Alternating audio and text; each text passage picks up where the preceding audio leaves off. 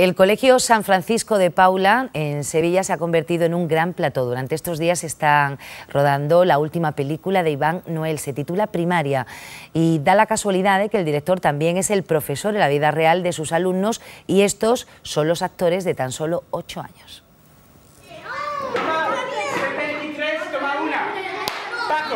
que recogen que ponen en su sitio. Iván Noel refleja en esta tercera entrega de su trilogía sobre la infancia su experiencia como profesor de arte que de repente se dedica a la enseñanza de niños.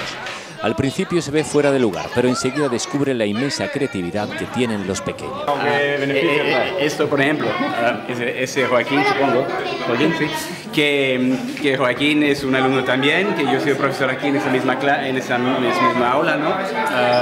dando la clase de arte, entonces yo lo conozco a todo el mundo y grabamos exactamente lo que vivo yo durante un año. Están de vacaciones, pero realmente no quieren irse a casa ahora que han conocido sus verdaderas vocaciones. Me ha dicho el,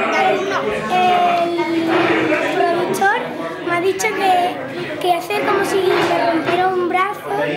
Sales en la tele, que eres famosa. Paco Alfonsín hace del profesor Iván Noel.